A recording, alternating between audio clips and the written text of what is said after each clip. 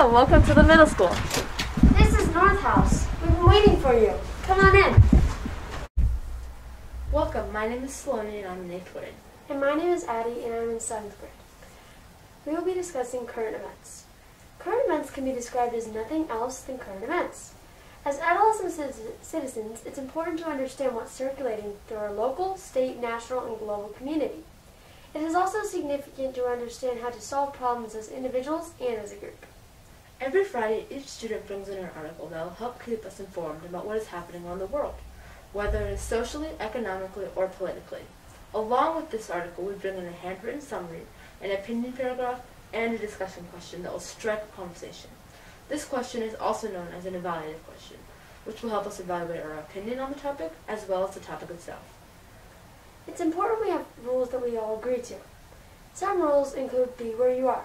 Be where you are enables us to have nice posture, which intends uh, for us to sit up straight, to maintain eye contact, and to speak up. And another rule is take space, make space. Take space, make space enables us to participate in the conversation, ask clarifying questions, and invite others to the conversation.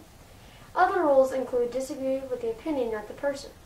We use phrases like, um, I see your point, but may I add to disagree respectfully. Because of COVID, our community is not able to be in a building together. So every Friday we go into two separate groups. One math, one Garden Lane doing math seminar, and one in North House for current events. In current events, we start with our etiquette and guidelines, as previously mentioned. Voting. So we all go around and discuss and tell each other our title and our discussion question, which Sonny mentioned is an evaluative question. Then we will all vote on which person's title and discussion question we like most, and then they will read aloud their title, summary, opinion paragraph, and their discussion question, and then it will be discussed. Some of the topics we have talked about before include women's rights, immigration, politics, and social justice. Although we have a lot of freedom on what topics we're allowed to bring in, sometimes the topics are specified. Usually these topics relate to what we're learning in humanities or even science. One topic that we are not allowed to bring in is pop culture, because it is very hard to have a formal discussion on those types of topics. The current events has taught us many things, such as how to debate, how to be an informed citizen, and how to develop a deeper connection with a person, and to also disagree with their views or opinions respectfully. Everything the middle school community does has a purpose to help us in our future and even our present. Thank you for watching. Hi, my name is Brenna, and this is Katie, and we'll be talking to you about humanities. When we study humanities, we study human society, culture, and the human story over time and place. At the beginning of the year, we roll out the human story timeline. We note the important places, people, times, and events on it. Then we study these things. So far, we have studied pre-Columbian American, Renaissance, medieval, and many more. We have humanities three days a week in a three-week cycle for two hours. In this time, we listen to a presentation given by our teacher and take notes on it. Then we have enough time to do a deep dive into a chosen topic. Then we share our knowledge via research papers, presentations, or projects. When we interact with the text, we highlight and write questions. Then we talk about these questions during the class. This helps us get a better understanding of the text and help us interact with it more. After we finish the readings, we then move on to the outline and note-taking process. After this, we begin multiple drafts of research papers. When we revise these drafts, we make sure to not only correct grammar mistakes, but also making sure we have more than a surface level understanding of what we have written. After we do that, we move on to presentations. We usually do work of the hands, which can be skits, poems, songs, or many more things. This is an example of a work of the hand. It was a model of the Brewster Mansion made by a student. We, these generally go along with pres slideshow presentations. We take notes during these presentations to not only understand the text, but make sure that we are paying attention. My favorite unit that we have studied this year is the medieval period. In this time, I got to portray a knight and a skit with some of my peers. Some other projects that we did during that unit were poems, pictures, and Google Slides. My favorite unit that I've done is speaking is the Hudson Studies unit. In this unit, we go to downtown Hudson, Ohio, and we learn about our city. We talk to local government officials, and local business owners. In preparation for this trip, we each researched a topic and we present on it to the class. We also plan out the days that we will be there, including walking time, where we eat lunch, and who we visit. We take what we learn in humanities and we apply it to real life situations. Next year, I'm looking forward to trips like West Virginia and peace studies, where we get to learn about peacemakers. Hello, I'm Isabella in the 8th level here at the Hudson Montessori Middle School. I'm Nicholas, and this is my first year here at the middle school. We will be showing you more about the language art classes that we have for three times a week for one hour each time. The skills we learn in language arts help us through all of our subjects and community work. It also helps us to become a better, more contributing member of society. We practice skills related to language and its art with reading, writing, and poetry. In the past, we've learned language in many new ways, such as writing short stories, performing plays, writing thank you letters, and writing letters of affirmation. A, bar- a big part of our time in class is spent on discussing books we've read. These books often correspond with other subjects, such as humanities and science. Books about the Industrial Revolution, like Lyddie and Oliver Twist. We have Socratic seminars on the books that we read. We discuss, interpret, and evaluate the books by asking questions that others will answer with evidence from the text. The questions we bring to seminar are evaluative questions, meaning evaluating your opinions and values, interpretive, meaning interpreting the text, and factual, meaning gathering factual and direct information from the text. We are also assigned essays, such as five paragraph essays, expository essays, comparison essays, and thematic essays. We go through a five step process to polish our work to make sure we are effectively communicating and contributing to our ideas. These five steps are brainstorming, writing a rough draft, peer editing, guide editing, and revising our work. Sometimes we go through this process many times to ensure our work is at its best. Another indispensable part of our curriculum is poetry. We learn how to analyze poetry along with learning how to use figurative language. In this class, we get to learn about different words that will be used in our vocabulary as we grow, called Word of the Week. In Word of the Week, we a student will bring in a word to show the class. Words like sanguine, conjecture, and many others are described in Word of the Week, covering its part of speech, origin, a sentence with the word in it, and the definition of the word.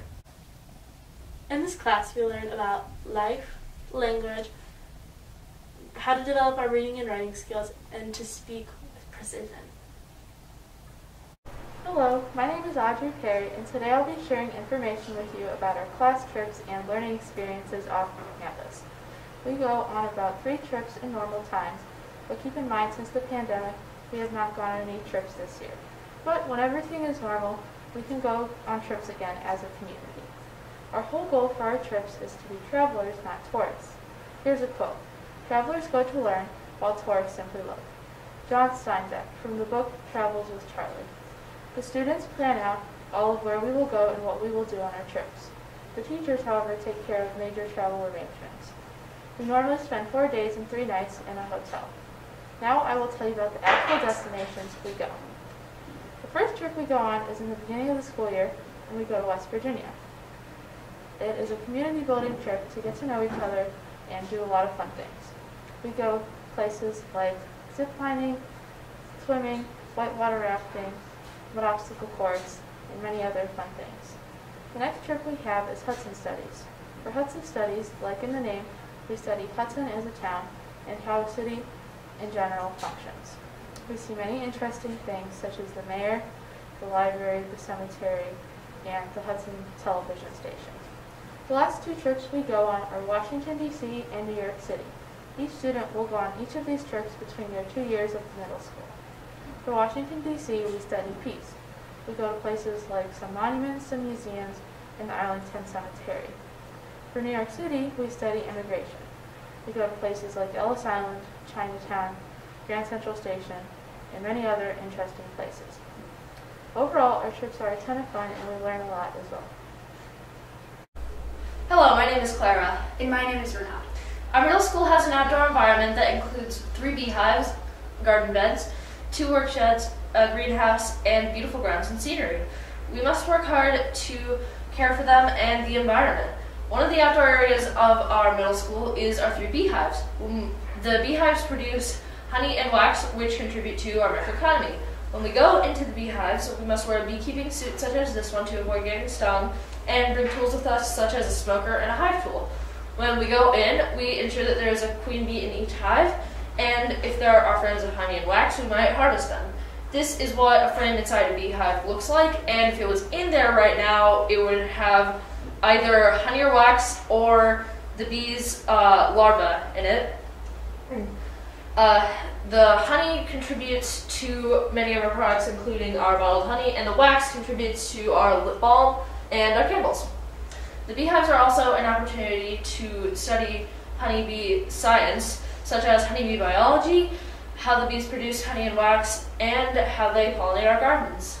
The gardens are a very important part of microeconomy. In the gardens, we grow raspberries, tomatoes, mint, dill, cilantro, peppers, and garlic. The gardens produce many of our products and ingredients. Some of the jam we make at the middle school and sell at nhspecialties.org is made freshly from our raspberries and peppers. Um, the gardens give the students not only a chance to grow plants, but to gain knowledge and excitement over agriculture. The students get to plan and share new ideas for new plants to grow and new products to make with the help of our gardens. Although the gardens and the bees contribute many things in the winter, they contribute even more in the spring. We are excited to go inside the beehives in the spring and grow more plants in the gardens. We are also excited to go to the have a plant sale and go to Hudson Farmers Market. The beehives and the gardens are a very important part of our learning environment. They contribute many things to our microeconomy and our learning, and our middle school would not be the same without them. We are very glad to have our beehives in our gardens and everything else in our outdoor environment. Hello, my name is Christopher, And my name is Landon. and today we will be talking about microeconomy at our middle school. In microeconomy, there are many divisions and committees that model a business enterprise. Our first division is farm, where we use and care for the land, like our beehives and gardens, to make products such as lip balm, jam, and honey. Our second division is hospitality, which is our coffee business. Unfortunately, we could not run the coffee business this year because of the pandemic. Lastly is our service division. The service division assists the people around us by helping out and doing community service. Some of our major service projects over the past years have been training a service dog, uh, helping out the Heidi Larwin Foundation, and uh, we created a free food transfer for non-perishable goods this year. Along with our three divisions, we have four committees. The first committee is marketing, and that is where we get the word out about our student-run business. We do things like create pamphlets, flyers, and signs, and we have even started to create our own website with help and guidance from the middle school guides. Our second committee is production, where we produce the products that we sell in our business. Some of these products are cocoa cones, jewelry, jam, honey, lip balm, and many others. We also have uh, creative expressions where we use to connect disciplines and find a purpose in our work. On our campus, we have raised garden beds, which we are expanding this year. The third committee that we have is quality control and inventory. Quality control and inventory quality controls products, meaning they make sure they are up to our standards and make sure that they are reflected on the website. And inventory are all of our products that we make to make sure they're for sale on the website. Quality control and inventory have been very important this year due to the fact there are no in-person sales due to the COVID-19 pandemic. We have used the website solely for our sales and the quality control and inventory students have been very important in making our sales run smoothly. During our holiday sale, the biggest sale of the year, we made $1,700 and we will be using that to reinvest into our products as well as using that as a per diem for trips like Hudson Studies or West Virginia. The fourth and final committee is finance and Landon will be talking more about that. I'm the ma- manager of finance, and in finance and our other divisions and committees, we learn life lessons that will help us to become successful adults. For example, in finance, we write checks, we reconcile the NHS bank account, and we also learn how to control budgets, receipts, and invoices. Also, the grounds group has to learn how to take control uh, and maintain the outside in our campus. Overall, we learn young entrepreneurial skills and learn how to run a successful business. One of the ways we do this is by going to the Hudson Farmers Market every fall. This year we were not able to due to the COVID 19 pandemic, but when we do, We go there and learn skills like how to treat a customer and how to cater to their needs. As well as the farmers market sale, we have sales like the holiday sale, as mentioned before, Grandparents' Day sale, pumpkin patch, as well as the Valentine's Day sale. Thank you for watching our presentation, and we hope to see you soon. Welcome to math class. Math class is one of our favorite classes of the day. We have math classes on Mondays, Tuesdays, and Thursdays. We always start math class out with problem of the day. These problems are chosen as review problems to help us prepare for math classes. They're chosen out of standardized tests such as the ISEE or the PSAT, which we'll be taking in the future. These also help us prepare for those. The way problem of the day works is the teacher will pick a problem of the day from those standardized tests which is this, and the students will write them in their binders. Then, when they finish writing them, they will raise their hands so, to let the teacher know that they're finished. Then the teacher will call on them so they can um, walk up to the board and start solving it. Then, if another student has a different way of solving it than the student at the board, they will keep their hand raised. So the student at the board will call on them for them to come up and show their different way of solving it. This usually lasts a few minutes until all the different solutions or answers are shown. After New problem day, we split them into designated math groups, pre-algebra, algebra 1, and geometry. This is in the Algebra 1 book, and this is an example of the homework we get. We get homework every math class, which is Monday, Tuesday, and Thursday. Then, the homework will be due the next math class. We also use, we also use materials to uh, help us understand difficult concepts, such as algebra tiles and algebraic equations. Our math classes are based off of taking responsibility for learning at our own pace. Every week we have math seminar. So on Mondays, we get a worksheet with four or five difficult problems, such as this, and we have the whole week to solve it.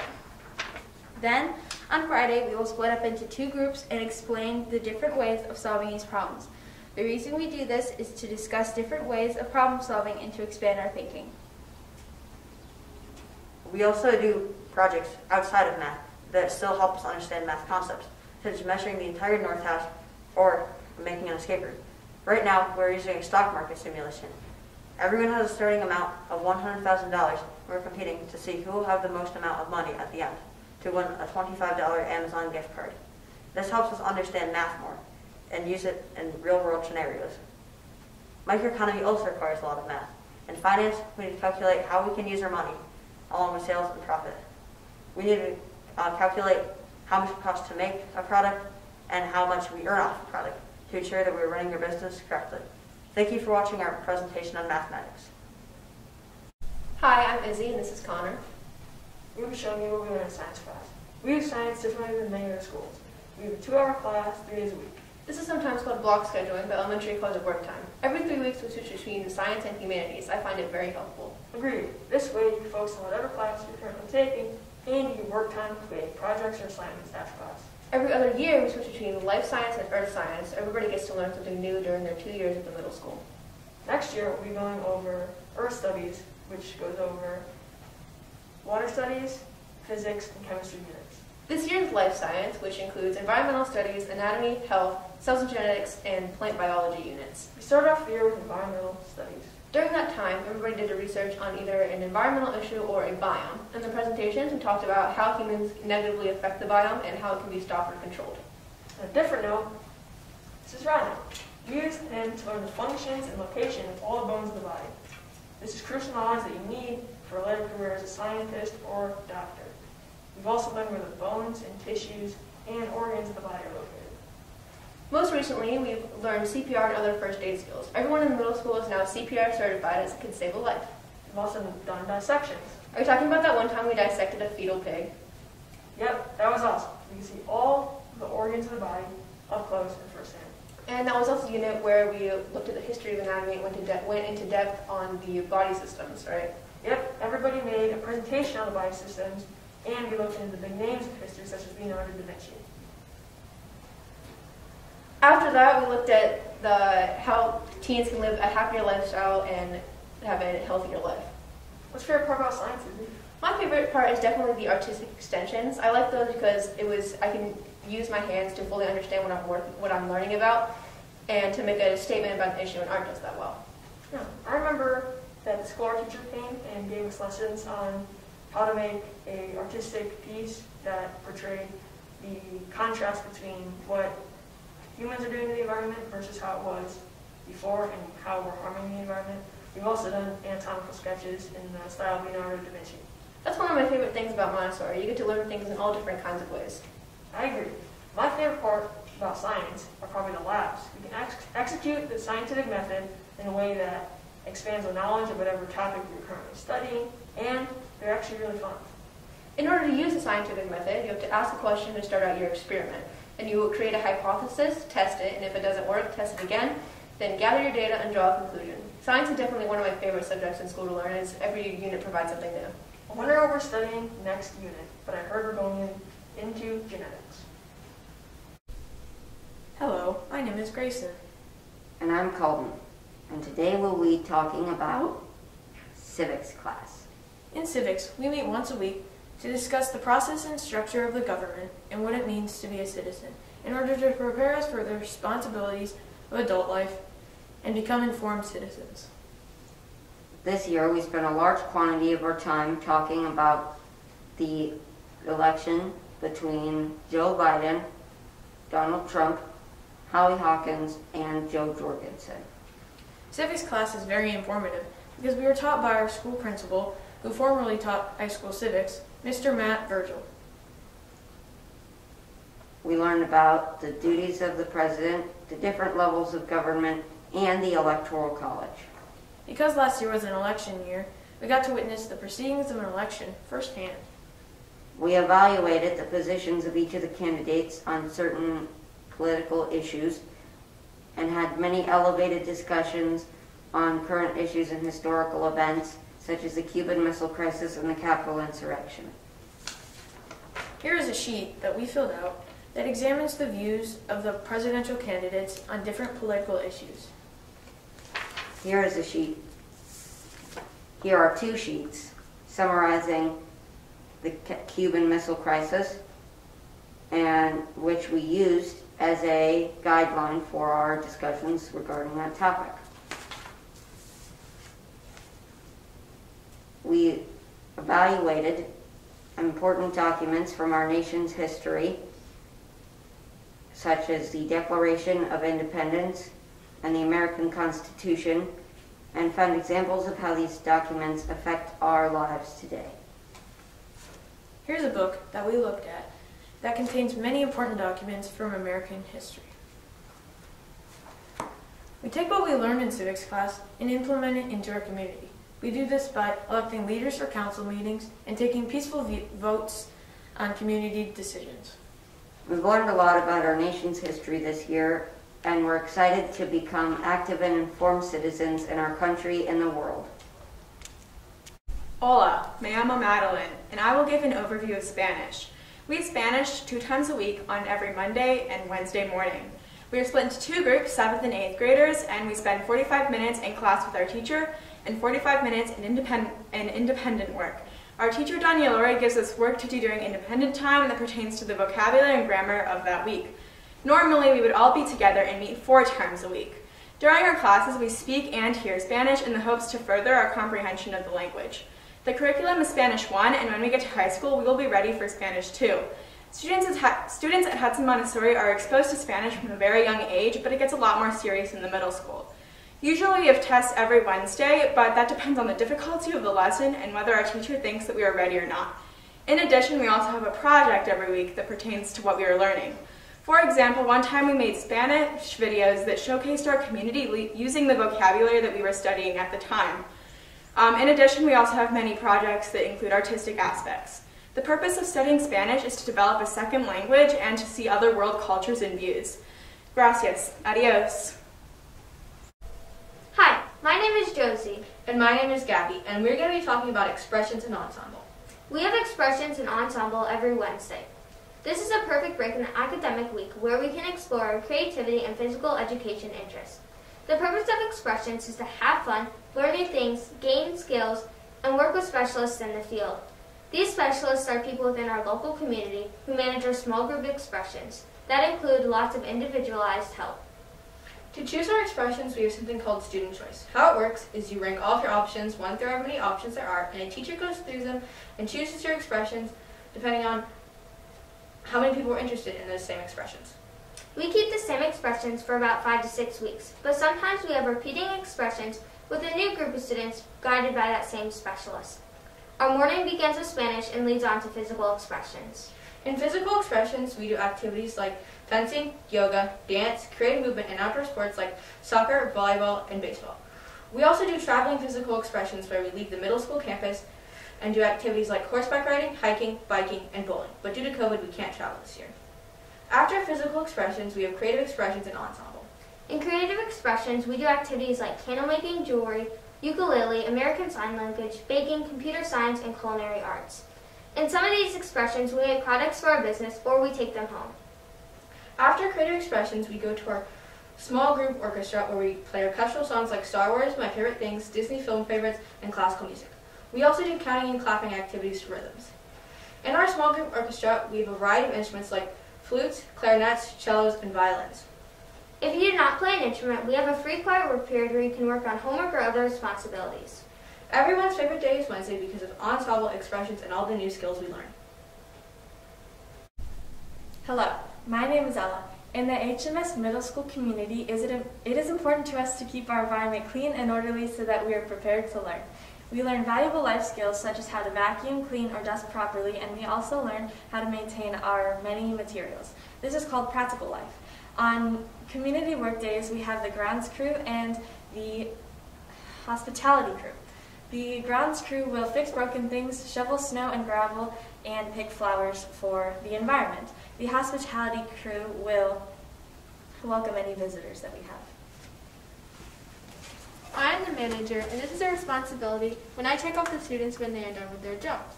It is important to have a manager to make sure that the student has completed their job thoroughly. The manager will take a look around the room and make sure that the student did complete their job. Normally, we would have we would choose jobs at random from a box, but to maintain proper coronavirus precautions, we are in separate homerooms and the guides must choose our jobs for us. Ella, will you read me your placard? Placards are um, are little signs that tell the person what they need to do to complete the job thoroughly. So I wrote the date reminders, I vacuumed, and I dusted the shelf. I also put up the chairs, which is a weekly task. Weekly tasks tasks are jobs that we only need to do once a week to keep our environment clean. These can include washing the windows or putting up the chairs. Outside, we harvest and prune the gardens and sweep the sidewalk that goes in between the two buildings.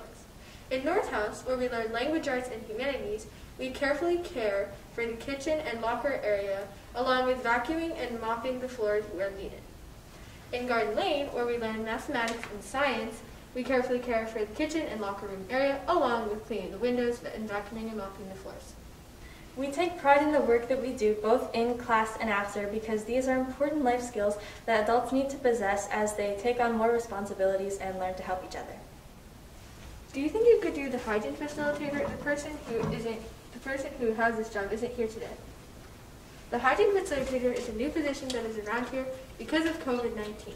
The hygiene facilitator sanitizes all materials and also takes hand sanitizer around the tables before and after we eat lunch and snack. Thanks, Ella. Of course. That is our practical life routine. We clean in, at the end of the day in both buildings for about 10 to 15 minutes. We hope you learned a lot about the middle school and stay safe. Bye.